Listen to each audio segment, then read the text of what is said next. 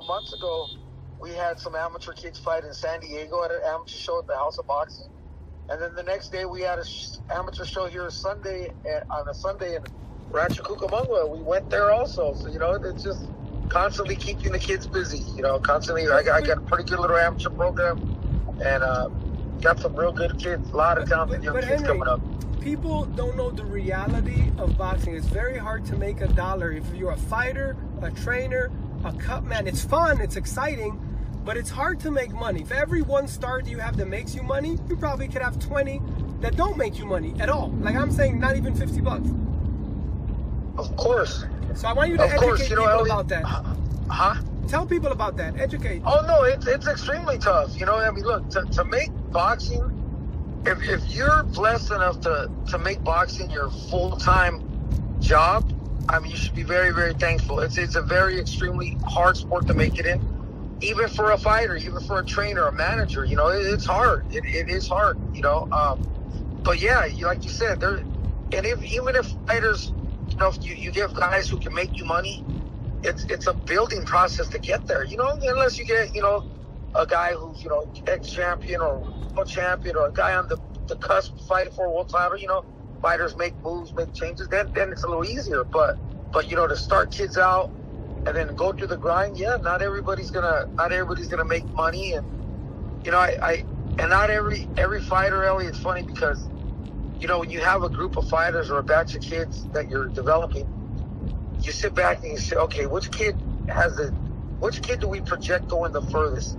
What and then and then some exceed expectations, and some kids underachieve, and it's just it's it's it's fun to see which ones get get to where we think they can, and then you know see which ones fall short. You know, it, it's just uh, it's a it's a tricky business, man. It's a very tricky business, and uh, extremely extremely hard to make it. I, I I don't know boxing like I know basketball, but every Right. year I started playing basketball at a very very young age, and every year they would mark who the stars are, and they would advance, and the other ten retire, and you just advance like that. You know, like the competition gets better and better and better. Right, right. And it's weird because in basketball, the most talented kids I've ever seen in my life, in my life, would never make it. They would quit. They would stop. They would start finding other things, whether it's like going to clubs or drinking or partying, or. But the talent was there, ability was there, but sometimes they, they were just a little off in the head, like just a little crazy. But in boxing, could be the same thing because you could groom a kid from zero to almost turning pro, and he'll just leave boxing in a heartbeat for no reason, no real reason. Yeah, yeah, no, that's true. You know, then, like you said, Elie, you know, when they're kids, you get, like, we have 8, nine, ten, eleven year old kids, right? Bunch Yeah. of kids who are gung ho about it. But I tell them, hey, guys, look, chill out. Like, after you fight, you're going to take a week off.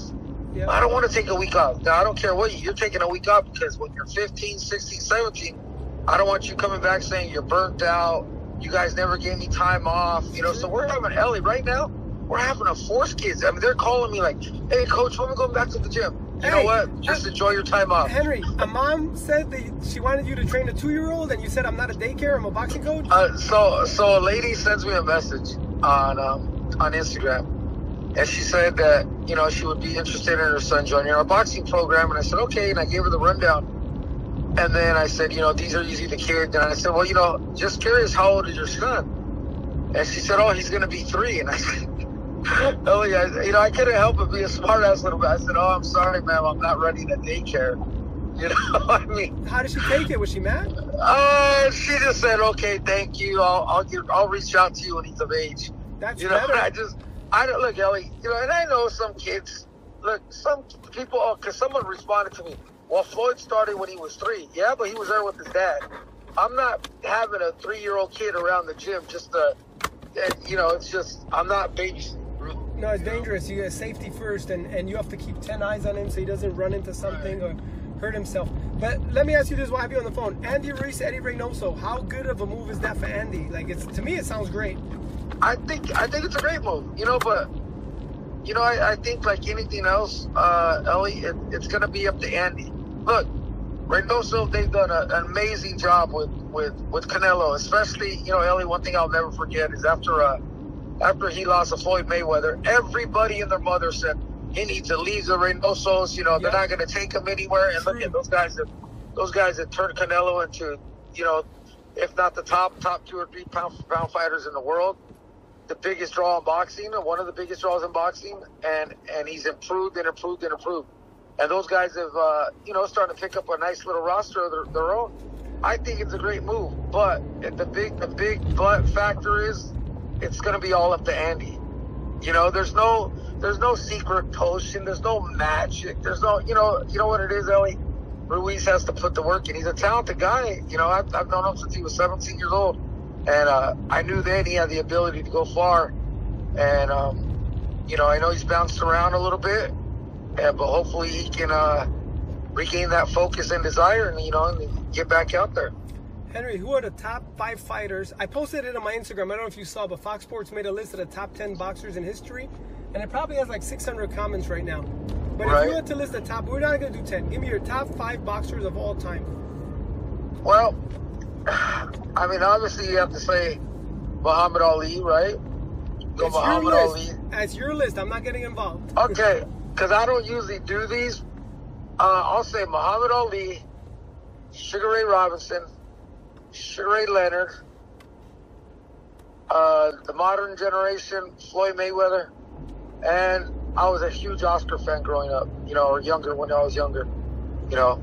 Okay, speaking of Oscar, Oscar De La Hoya said they asked him what would happen if you fought Conor. He said I'd knock him out in two. Conor said I'm up for the challenge. Oscar said, Hey, buddy, I'm not fighting you. They just asked me a question. If they did right. fight in three months, who do you like in boxing? That's a tough fight. I, I don't think it's as easy. Look at a prime De La Hoya, of course, you fucking splatter him. Now, you know, Oscar maybe hasn't done When's the last time Oscar fought? 2007, 2008? Uh, Pacquiao was that 2009, 10? Yeah, that, that's a long time ago. You know what I mean? Even though Conor hasn't been active lately, he's still been, you know, in, in fighting shape and, you know, just been under the duress of a fight. You know, I mean, obviously Oscar's the one who has much more skills and, and, and you know, more talent boxing wise, but, you know, he's also a lot older and hasn't, you know, maybe he's not, hasn't boxed or sparred in 12 years. It's tough to, there's a timing element to all that, uh, Elliot. There's a timing factor that that's hard to make up.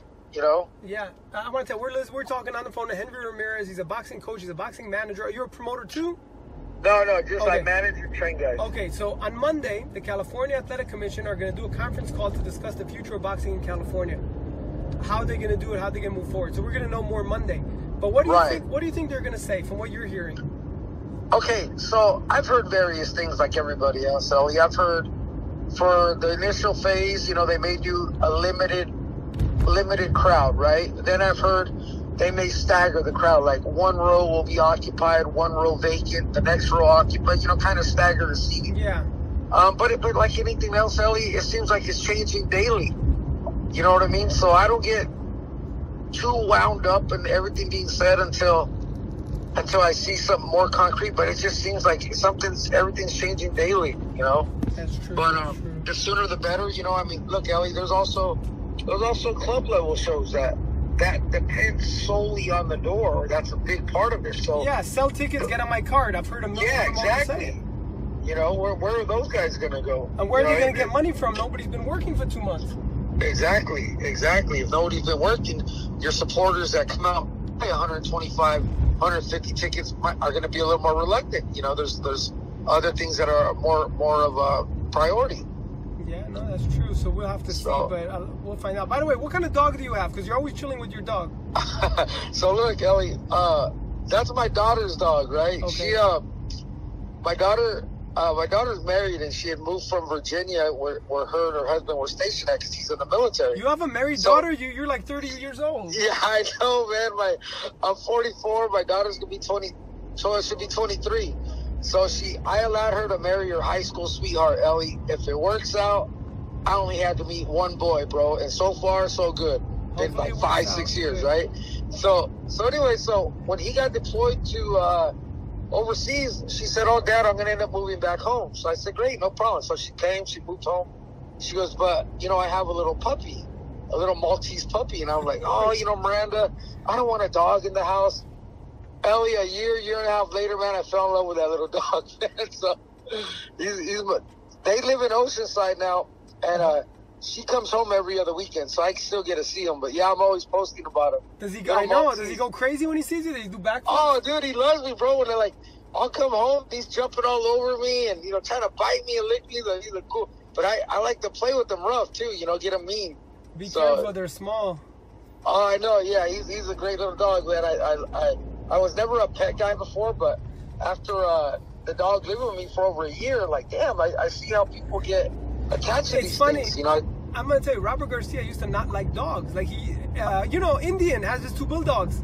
right, right. And rest in peace, Indian. He was a good dude. But Robert used to like when the dog used to run into the ring. He used to jump on the apron. And now he loves his two dogs more than like the Pita tells me he likes them more than his kids. Oh, bro, I'm telling you, I'm the same way. Cause I'll call my daughter. The, the dog's name is Miso. He's a little male Maltese. So I'll Yeah. call. I say, hey, I'll say, hey, Miranda, how's uh, how's Miso doing? She goes, oh, he's good. She goes, oh, by the way, I'm doing good too. Uh, yeah, I didn't call about you. I'm calling about the dog. So That's I, funny. I I can totally relate, man. Dogs are awesome. So there you have it. Another great video for ES News. For ESNewsReporting.com, I'm Elie Seckbach reporting. And you can follow me on Twitter at Seckbach, And you can follow me on Instagram at Elie Seckbach.